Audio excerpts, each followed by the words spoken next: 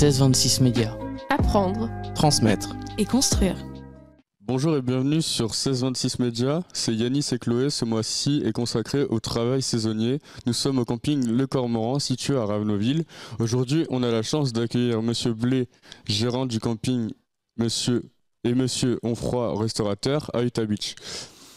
Mais d'abord, commençons par Alan, réceptionniste. Bonjour Alan, Bonjour, comment allez-vous? Ça va et et toi? Ça va très bien. Et Angélique? Vous allez bien? Euh, Très bien. Euh, J'ai une question. Comment vous, vous êtes arrivés, vous deux, sur euh, ce poste de réceptionniste? Tu veux commencer? Alors pour ma part, en fait, c'est parce que j'ai commencé par postuler à l'office de tourisme de Sainte-Mère-Église. Parce D'accord. qu'ils étaient en recherche de quelqu'un pour la saison également. Sauf qu'ils avaient déjà trouvé. Et du coup, étant une office de tourisme, elle m'a aiguillé, elle m'a dit Je connais quelqu'un qui serait potentiellement intéressé par votre, euh, votre profil. Et elle m'a directement passé les coordonnées de Monsieur Blais. Et du coup, vous, avez, Et vous êtes, à- suis- voilà. Vous êtes là. Et vous, vous Donc êtes- moi j'ai un poste à l'année en fait en, en CDI. Euh, donc je suis euh, réceptionniste référente. Euh, j'ai fait par moi-même les démarches. Je me suis présentée directement au camping, sachant que j'avais déjà fait une pré-saison en 2018. euh, ici en faisant tout ce qui était baby club et pizzeria et du coup euh, voilà je me suis représentée avec mon CV Et passé l'entretien euh, normal quoi D'accord. Bah, merci. Et quelles sont vos tâches à faire principales dans, en tant que réceptionniste? Alors le plus gros, je dirais, c'est de vraiment gérer les réservations, autant par téléphone que sur Internet. Mm. Et après, euh, tout ce qui est euh, le contact du client, euh, d'approche voilà, le contact proche, les gens qui viennent régler, demander des renseignements, ceux qui arrivent, bien leur donner tous les renseignements nécessaires pour leur séjour, les clés, leur montrer tout le fonctionnement du camping. D'accord. Merci. Et euh, pour euh, être réceptionniste, il faut euh, savoir parler plusieurs langues, euh, comme l'anglais, l'italien. La, la base, il faut au moins avoir l'anglais, sûr, parce que la, la langue internationale, c'est l'anglais. Après, effectivement, nous, ici, au sein du camping, on a beaucoup tout ce qui est les personnes allemandes, néerlandaises, belges. C'est essentiellement ce qu'on a au sein du camping et effectivement on a un peu d'anglais également mais sinon le reste c'est essentiellement du français. Ok. Et euh, les, compl- les compétences les plus attendues à avoir sur ce poste, c'est le, enfin, c'est- d'être euh, Alors, surtout garder son calme. Ouais. garder Surtout. son calme parce que on peut des fois être confronté même si les personnes sont en vacances euh, être confronté à des situations à des, des personnes qui soient mécontentes ou qui soient pressées de- d'arriver Il faut surtout garder son calme. Euh, comme disait Alan, euh, principalement, on est là aussi pour les conseiller aussi euh, sur euh, tout ce qui peut se passer au niveau de la région, euh, que ce soit au niveau visite des musées, euh, jardins et autres. Euh, donc euh, du coup voilà. Et puis euh, aimer aussi ce qu'on fait quoi, parce qu'on est on est là euh, H24 donc. euh, Ouais, faut, faut, faut aimer quand même. Ah bah tout à fait ouais, vaut mieux ouais. tout à fait. Et euh, sinon, euh, le moment où il y a plus de monde dans le camping, c'est euh, estival ou hivernal? Pendant l'été ou l'hiver? Il y a plus de monde l'été ou l'hiver? Ah ouais, l'été. L'été vraiment sur juillet août et puis toutes les périodes qui vont être jours fériés week-end pont et puis dans notre cas le début juin pour les commémorations sur le, le débarquement de Normandie Là où il y a beaucoup de visites des, des Anglais, tout ça. Ouais. D'accord. Merci beaucoup à vous deux. Et tout de suite, nous allons retrouver Chloé, agent d'entretien. 1626 Médias. Apprendre Transmettre. et construire. Bonjour, c'est Alicia et aujourd'hui je retrouve Chloé qui est saisonnière au camping Le Cormoran. Bonjour Chloé. Bonjour. Parlez-moi de votre parcours. Alors, euh, j'ai fait un bac sciences technologiques euh, du sanitaire et du social, si je ne me trompe pas dans l'intitulé, euh, sur Cherbourg, au lycée Millet, et que je l'ai obtenu en 2018. Et après, j'ai décidé de partir euh, faire un, un DUT carrière sociale en option animation au Havre, que j'ai obtenu en 2020. Quel poste occupez-vous au sein du camping et quelles sont les tâches principales? Euh, je fais quelque chose de totalement différent de ce que dans lequel j'étais partie à la base. Je fais du, je suis agent d'entretien, donc euh, les tâches principales, c'est faire le ménage dans les dans les sanitaires et euh, dans les mobiles. Est-ce la première fois que vous travaillez dans ce camping? Non, c'est la troisième année. D'accord. Est-ce que vos contrats ont évolué du coup au fil du temps? On peut dire que oui, parce que j'ai augmenté au niveau de la durée. Quand j'ai commencé, j'étais là pour travailler juste un été. Et là, actuellement, je travaille sur toute la, sur toute, enfin, sur toute la saison, pardon, Euh, donc de mars jusqu'à octobre. Et maintenant, en termes de recrutement, quelles sont les démarches que vous avez entreprises quand vous avez postulé la première fois? Et selon vous, quelles sont les compétences attendues? Euh, quand j'ai postulé, j'ai entendu parler du poste par du bouche à oreille. Et donc euh, j'ai appelé le camping pour savoir si le poste était toujours disponible. Et ensuite euh, j'ai eu un entretien euh, avec la directrice. Et quand je me suis présentée, j'ai pensé à emmener un CV pour. et puis c'est tout. C'était assez rapide donc. et vous m'avez demandé. Quelles sont les compétences attendues? Bah, elles sont assez simples, savoir faire le, enfin savoir euh, faire le ménage, être rigoureuse quand même dans, dans le poste. D'accord. Eh ben, je vous remercie. Je vous en prie. À bientôt. À bientôt. Maintenant, on- je vous laisse entre les mains de Chloé. Maintenant, place euh, à Monsieur Blé et Monsieur Onfroy, respectivement gérants du camping et restaurateurs. Donc bonjour, Bonjour. messieurs. Bonjour Bonjour. Yanis, bonjour Chloé. Bonjour. Euh, je vais d'abord commencer par euh, Monsieur Blé si vous le voulez bien. Oui, pas de problème. Euh, Pouvez-vous vous présenter s'il vous plaît? Oui, alors déjà bienvenue, hein, bienvenue au camping Le Cormoran. Donc je suis le gérant du camping Le Cormoran avec mon épouse, un camping qui existe maintenant depuis, euh, depuis une cinquantaine d'années. Hein, C'était un camping familial euh, qui euh, tout simplement est ouvert de début, du début du mois d'avril jusqu'à la fin du mois de septembre. On accueille bien sûr des, des vacanciers chez nous. On a aussi des résidents hein, qui résident à, à la saison chez nous. Et donc on a plaisir à travailler euh, en famille. hein. Pourquoi? Parce que Mélanie et moi, nous sommes à la tête de l'établissement et nous travaillons avec mon beau-frère et ma belle-sœur. Donc une belle histoire familiale. Parlez-moi de votre parcours. Mon parcours. Euh, je suis natif de Saint-Lô. hein. j'ai fait des études sur Saint-Lô. Ensuite, je suis parti sur Caen et euh, j'ai euh, fait une école de commerce sur Bordeaux. Après cette école de commerce, je me suis lancé dans une carrière commerciale, bancaire. Et il y a maintenant 10 ans, hein, 10 ans, j'ai choisi de, changer ma vie. Et donc j'ai atterri dans ce magnifique monde qu'est le monde du tourisme, hein, que Nicolas aussi euh, pourra, pourra décrire comme un monde extraordinaire, un monde de partage. Et euh, depuis maintenant 2013, hein, je suis à la tête du camping Le Cormoran. Avant d'être gérant d'un camping, vous avez été banquier. Oui. Que pouvez-vous euh, nous dire sur la bascule entre le monde salarial et le monde entrepreneurial? Il y a toujours un lien, à savoir que je, je travaillais en tant que salarié, et maintenant c'est moi qui travaille avec des salariés. Donc il y a toujours ce lien-là. La seule chose, c'est que bah, maintenant je suis gestionnaire d'un centre de profit et je suis responsable de mes salariés. Et maintenant, euh, parlons de job d'été. Oui. Sur quel poste recrutez-vous vos saisonniers? Quels sont les postes? Intéressants Alors, vous avez des postes d'entretien, vous avez des postes de maintenance, donc ce sont des contrats qui vont de 8 à 6 mois. Vous avez aussi des postes de réceptionniste où il faut savoir parler anglais, hein, par obligation, parce qu'on a une belle clientèle étrangère qui vient chez nous. Là, ce sont des postes à la fois en CDI et des postes de 8 mois. Ensuite, pour les jeunes, hein, on propose aussi des jobs étudiants, à savoir des jobs de deux mois sur la haute saison, sur juillet et sur août. Et là, nous avons besoin euh, tout simplement de d'animateurs, de personnel de bar, de personnel de pizzeria. Et on comptabilise en job d'été euh, pas loin de- d'une quinzaine de saisonniers chaque saison. À partir de quel âge recrutez-vous?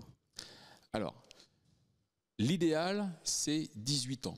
Mais il y a des exceptions. hein. Si ce saisonnier ne travaille pas euh, au niveau du bar, on peut embaucher des saisonniers dès 17 ans. Avec bien sûr des aménagements dans le cadre, je dirais, de la convention collective. Quelles sont euh, vos conditions de, recrut- de recrutement et pouvez-vous citer les compétences que vous attendez lorsque vous recrutez? Ah, la première des compétences, c'est l'envie, l'envie de travailler. l'envie d'une immersion dans une entreprise, car les, jeunes qui viennent travailler chez nous, déjà, c'est une chance hein, qu'ils peuvent avoir. C'est de travailler déjà sur un territoire qui est super sympa, qui est la butte du Cotentin, et dans des, établissements bah, qui proposent en effet bah, pas mal de je dirais pas mal de missions, hein, euh, de missions où en effet bah, le jeune peut s'épanouir. Donc là, euh, j'invite en effet les jeunes à venir travailler dans le monde du tourisme. Et moi, si demain je suis embauchée chez vous et que je n'habite pas à Ravenoville, est-ce que vous proposez un hébergement et sous quelles conditions? Alors oui, nous proposons des logements saisonniers, euh, comme Nicolas hein, propose aussi des, logements saisonniers. Ces, logements euh, sont tout simplement sur le camping. Pourquoi? Parce qu'on se rend compte que beaucoup de jeunes n'ont plus de véhicules de locaux, enfin, plus de véhicules ou pas de véhicules. Euh, ils ont besoin, pourtant, je dirais, de, bah, de, de- bosser. C'est pour ça qu'on leur propose un package, à savoir le boulot et l'hébergement. Et ce sur 3, 4 mois ou plus, ou plus court si besoin. Quelle activité les vacanciers vont y retrouver? Beaucoup d'activités. Activités bord du littoral, parce qu'on a la chance d'être en bord de mer. Donc il y a un moniteur qui l'été vous propose des sessions de paddle et de canoë. Vous avez aussi pas mal d'animations qui sont proposées à la piscine. Yoga, euh, yoga, cardio biking, fitness, zumba. Et puis bien entendu, sur tout le camping, vous avez différents ateliers d'animation qui sont proposés à l'ensemble des populations, qu'elles soient jeunes ou moins jeunes. Eh bien, merci Monsieur Blé. Très bien. Et avant de passer à l'interview de Monsieur Onfroy, place à la chronique loisirs. 1626 Médias. Apprendre Transmettre. et construire. Bonjour, c'est Dominique et Alicia. Quand on ne travaille pas, on a la possibilité de faire du char à voile à Ravenoville. Venez découvrir le joie de la glisse. Les séances durent une heure, sont organisées à marée basse et sont encadrées par un moniteur de, joie- de voile diplômé. Il y a également possibilité de faire du kayak, du paddle à Utamer loisir. Vous pouvez aussi faire de la pêche au coq et au moule. Sur la plage d'Utah Beach, il y a possibilité de faire du golf à Fontenay-sur-Mer. Et si vous voulez en apprendre da- davantage sur l'histoire de la région, vous pouvez aller visiter le musée du département de Utah Beach, le D-Day Experience à Saint-Côme et à Kinneyville, il y a le World War II Museum. Et pour un peu de gourmandise, vous pouvez aller à la biscuiterie de Sainte-Mère-Église. Cette biscuiterie est dotée d'un salon de thé, vend des meringues colorées, des biscuits sablés et des glaces. Et pour finir, vous pouvez aller voir les feux d'artifice du 14 juillet et du 15 août. À bientôt sur 1626 Média. 1626 Médias. Apprendre Transmettre. et construire. L'interview avec Monsieur Onfroy. Bonjour. Bonjour Chloé. Euh, vous êtes euh, restaurateur. Quel type de restauration proposez-vous à, votre clientèle? Alors moi je suis dirigeant du domaine Utah Beach à Sainte-Marie-du-Mont et on a entre autres un restaurant qui s'appelle Chez Arsène. On a aussi un hôtel, on a aussi des gîtes, on a une ferme et on a des écuries. C'est un restaurant bistronomique. La particularité de notre restaurant, c'est qu'on travaille uniquement avec des producteurs locaux, des produits frais, des produits de saison, et tout est fait maison. Et étant donné qu'on travaille avec les producteurs locaux. On est obligé de travailler les produits en entier. Donc on n'achète pas des cuisses de poulet, on achète des poulets, on n'achète pas euh, du filet de bovin, on achète des bovins en entier qui sont produits d'ailleurs sur notre ferme. Quelle est votre spécialité? Ma spécialité à moi, du restaurant Ah, du restaurant, bah, euh, voilà, principalement, euh, comme je vous le disais, les produits, euh, du, le bœuf de la ferme, Mhm. c'est quand même euh, ce qui, ce qui, ce qu'on vend en majeure partie, parce que les clients voient en arrivant les vaches dans les champs autour, donc ils ont vite envie de les goûter directement à notre assiette. Mais on n'est on pas forcément spécialisé là-dessus, c'est-à-dire qu'on est capable de travailler les poissons, et aussi on a une proposition entièrement végétarienne pour les clients qui le souhaitent. Pouvez-vous euh, me parler de votre parcours, s'il vous plaît? Oula, alors mon parcours. euh, euh, j'ai grandi à Sainte-Marie-du-Mont, là où j'habite. Ça fait cinq générations qu'on est au même endroit. J'ai grandi dans une ferme, toujours avec une envie de devenir agri- agriculteur. Mais finalement, je suis pas devenu agriculteur tout de suite. J'ai fait des études pour devenir ingénieur. Donc j'ai été ingénieur, j'ai travaillé dans l'industrie, un petit peu moins que Fred, parce que moi j'ai tenu que 7 ans et demi dans l'industrie. Et euh, au bout de 7 ans et demi, je me suis reconverti à l'époque euh, pour euh, m'installer comme agriculteur sur la ferme familiale, mais qui était à l'arrêt depuis 6 ans.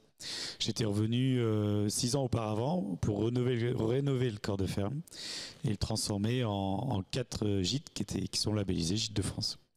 Et en 2019, avec mon épouse, on décide de reprendre l'établissement voisin, qui était un hôtel-restaurant et qui était en vente depuis un certain temps.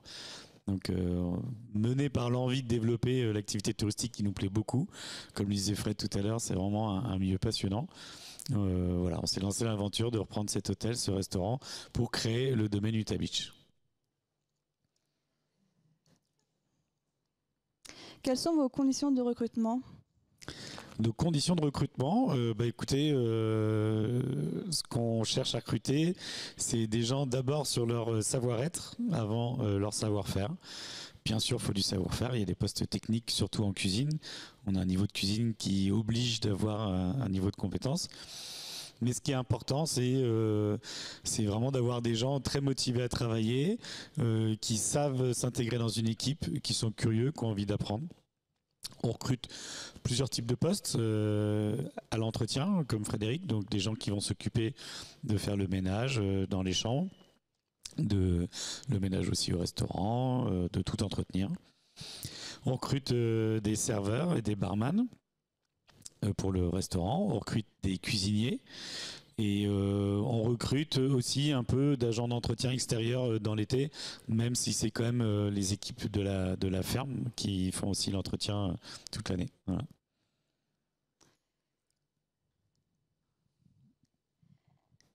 Racontez-nous vos difficultés lorsque, lorsque vous recrutez. Est-ce que vous en avez? On a un petit peu de difficulté, le, métier de la restauration et du tourisme, des saisonniers en global, euh, peine à convaincre euh, ces derniers temps. C'est euh, c'est triste et c'est dommage parce que c'est vraiment un super beau métier. Moi, personnellement, quand j'étais étudiant, été, je suis allé travailler dans des usines, des choses comme ça l'été. Et, et je regrette en fait de ne pas avoir eu conscience qu'on pouvait travailler dans le monde de la restauration. Parce que nous, on forme, on forme complètement nos équipes. C'est-à-dire qu'on peut arriver chez moi en disant moi, je suis courageux, j'ai envie de bosser, euh, je suis curieux, et euh, grosso modo, en 15 jours, on est capable de vous amener à, renforcer une équipe qui est déjà présente et qui est connaisseuse.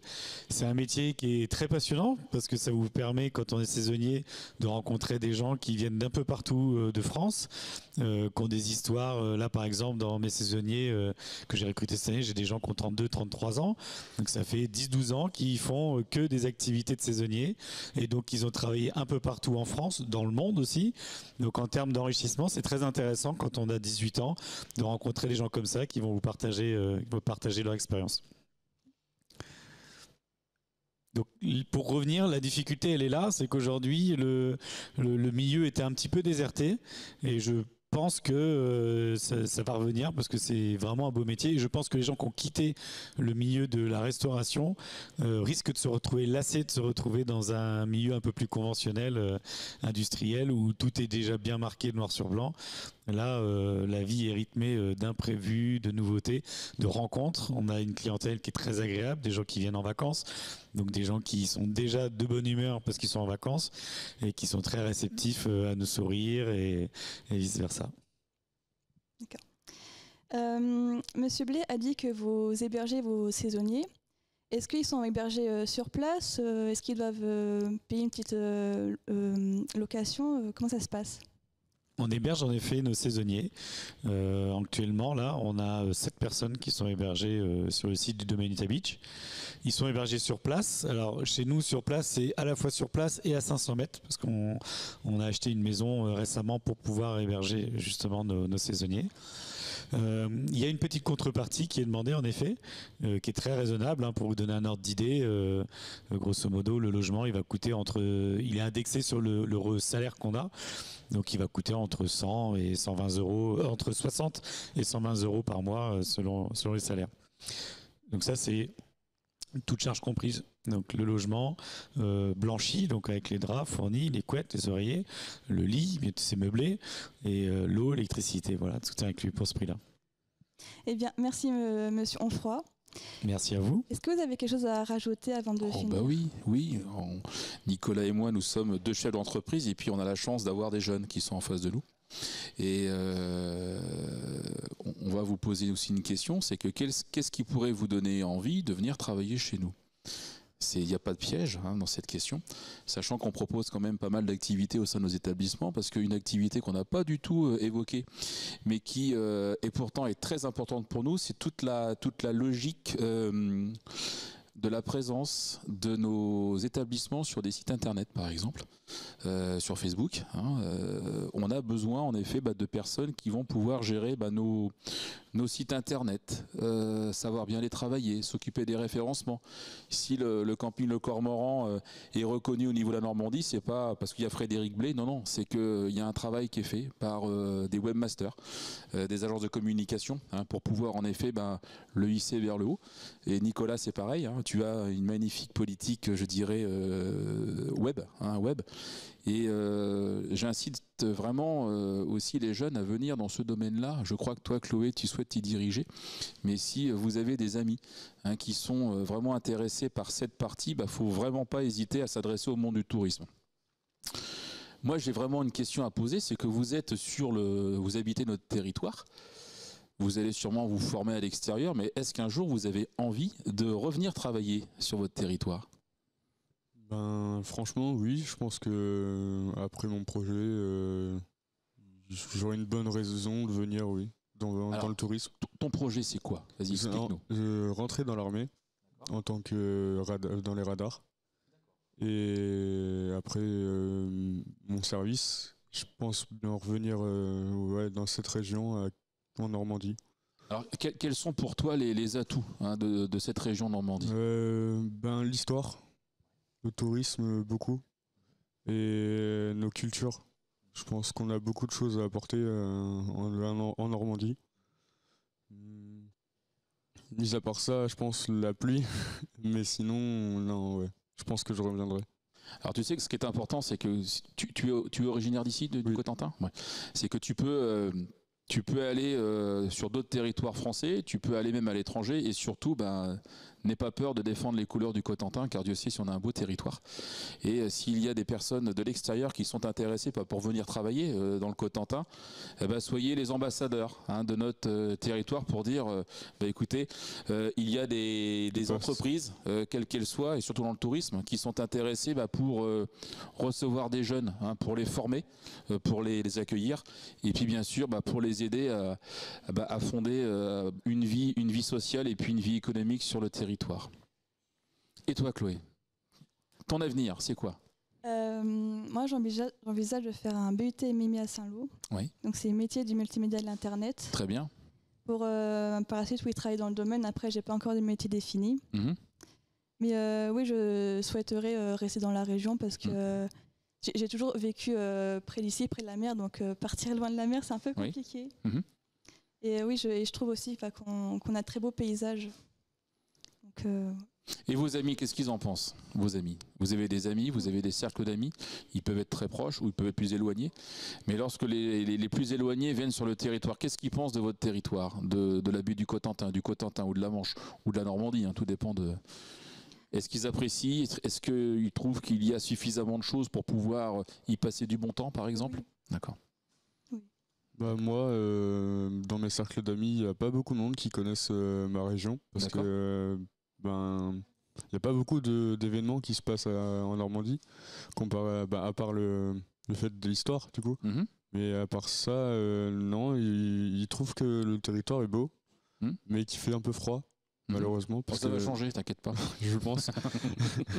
Et, euh, non, mais oui, il trouve que c'est, il fait beau. Enfin, il fait beau. Il, il- c'est un beau territoire. euh, la culture, euh, Mm. l'histoire, tout ça est très bien. Malheureusement. mais Alors, euh, voilà, c'est que le, le tout, c'est qu'il faut, c'est pas parce qu'on est sur les plages du débarquement qu'il faut s'arrêter à, à ça. C'est que quand vous prenez la butte du Cotentin, vous avez en effet le côté, tout, tout- tout le côté historique, mais vous avez euh, tout le parc des marais du Cotentin qui est, qui est somptueux à visiter. Et puis, euh, quand on monte un petit peu plus haut vers le Cotentin, euh, il y a quand même de magnifiques ports à visiter, alors qu'ils soient tout petits. hein. vous avez le port Racine, qui est le plus petit port de France. Et puis, bah, vous avez d'autres ports comme le port de Saint-Va ou ailleurs, même bien sûr le port de Cherbourg, le plus gros, où il y a quand même pas mal de transit hein, qui, qui sont faits entre les, les- les îles anglo, euh, les îles anglo et puis, euh, et puis le territoire français. Donc n'ayez pas peur en effet de mettre en avant votre territoire et puis euh, bah, le fait que vous alliez travailler en extérieur surtout faites en sorte de revenir avec le maximum de compétences possibles et s'il y a des amis à vous qui souhaitent ne pas aller en extérieur et puis travailler sur les territoires, surtout qu'ils n'hésitent pas à venir euh, nous rencontrer, nous chefs d'entreprise, car je suis sûr et certain qu'il y a beaucoup d'opportunités. Voilà. Eh bien, merci Monsieur Blé et merci Monsieur Enfin de Avec plaisir. vous être mobilisés sur notre web média. Et maintenant, place à notre chronique emploi et euh, à bientôt euh, sur 1626 Média. Merci, à vous deux. Merci. 1626 Média. Apprendre Transmettre. et construire. Bonjour à toutes et à tous. Bienvenue sur cette nouvelle chronique Les métiers saisonniers. L'hôtel de Sainte-Mère-Église recrute pour un CDD saisonnier en tant qu'employé polyvalent. Vous devez être dynamique car vous serez en charge de l'hôtel et du restaurant. Une première expérience serait un plus. L'hôtel de Sainte-Mère-Église recrute un serveur ou une serveuse pour un contrat de 6 mois. Les débutants sont acceptés. Les compétences demandées sont la rigueur, l'organisation et le travail d'équipe. Vous aurez en charge le service et la salle en mise en place. Si ces annonces vous intéressent, vous pouvez contacter le 02 33 21 00 30. La crêperie de Coquigny à Sainte-Mère-Église recherche un serveur ou une serveuse pour la période du 1er juin 2022 au 31 août 2022. Les débutants sont acceptés 35 heures par semaine. Si ce poste vous intéresse, merci de contacter Madame Leveau au 02 33 41 34 63. Le domaine du Beach recherche un cuisinier expérimenté. Contactez le 02 33 71 25 74. C'était Guénolé sur 1626 Média.